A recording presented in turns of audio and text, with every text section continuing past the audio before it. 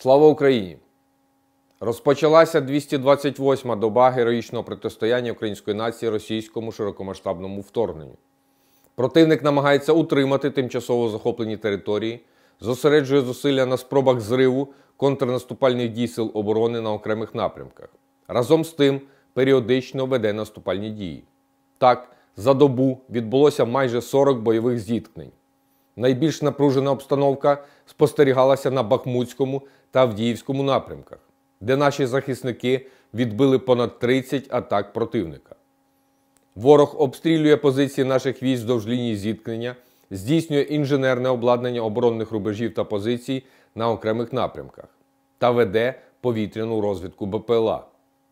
Противник продовжує порушувати норми міжнародного гуманітарного права, закони та звичаї ведення війни. Так, протягом минулої доби окупанти завдали 3 ракетних та 26 авіаційних ударів, здійснили понад 75 обстрілів з реактивних систем залпового вогню. Вночі російські окупанти цинічно вдарили по житлових будинках та цивільній інфраструктурі Запоріжжя. Інформація щодо жертв уточнюється, але вже відомо про десятки загиблих та постраждалих. Окрім того, вогневого ураження зазнали понад 30 населених пунктів. Зокрема, Харків, Часів Яр, Попівка, Грабовське, Макіївка, Спірне, Білогорівка, Іванград, Опитне, Кліщіївка, Новомихайлівка, Вугледар, Нікополь, Урожайне та Давидів Брід. Залишається загроза авіаційних та ракетних ударів на всій території України. На Волинському та Поліському напрямках обстановка без суттєвих змін. На інших напрямках противник здійснював обстріли з мінометів та ствольної артилерії в районах населених пунктів.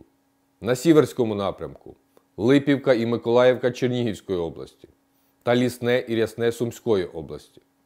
На Слобожанському напрямку Червона Зоря, Ветеринарне, Стрілеча, Красне, Огірцеве, Глибоке, Зелене, Стариця, Тернова та Чугунівка.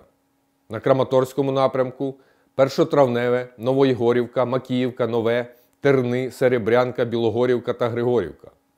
На Бахмутському напрямку Верхньокам'янське, Яковлівка, Бахмутське, Бахмут, Іванград, Зайцеве, Вершина, Зеленопілля та Опитне. На Авдіївському напрямку Первомайське, Водяне, Красногорівка, Мар'їнка і Новомихайлівка. На Новопавлівському та Запорізькому напрямках від ворожих обстрілів постраждала інфраструктура понад 25 населених пунктів. Серед них Солодке, Зелене поле Новосілка, Вугледар, Побєда. Той же час, в результаті ураження силами оборони, скупчення живої сили противника підтверджено поранення понад 20 ворожих солдатів, яких доставили у місцеву лікарню міста Токмак. За наявною інформацією, у Мелітопольському районі Запорізької області під виглядом пошуку та боротьби з партизанами окупаційні війська здійснюють обшуки та викрадення приватних автомобілів в гаражних кооперативах району. На південно-бузькому напрямку обстрілів зазнали райони понад 45 населених пунктів, що поряд з лінією зіткнення. Серед інших сухий ставок, квітневе, мирне, зоря та тернові поди. Ворог та його посіпаки тікають, налякані успіхами Сил оборони України.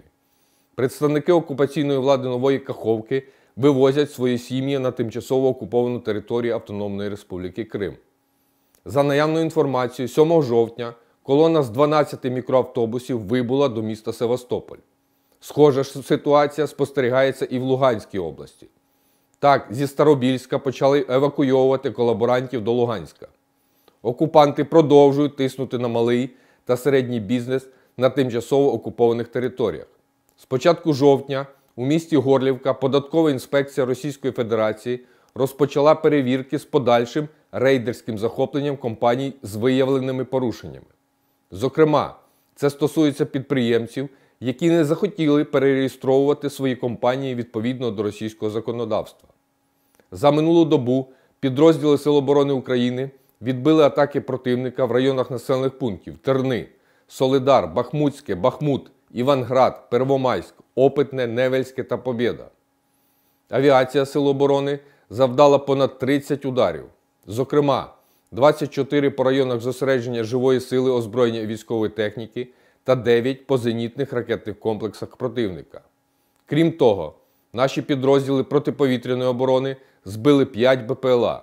Ракетні війська і артилерія протягом минулої доби уразили 2 пункти управління, 9 районів зосередження живої сили, озброєння та військової техніки, 3 склади з боєприпасами та 11 інших важливих об'єктів. Віримо у Збройні Сили. Разом переможемо. Слава Україні!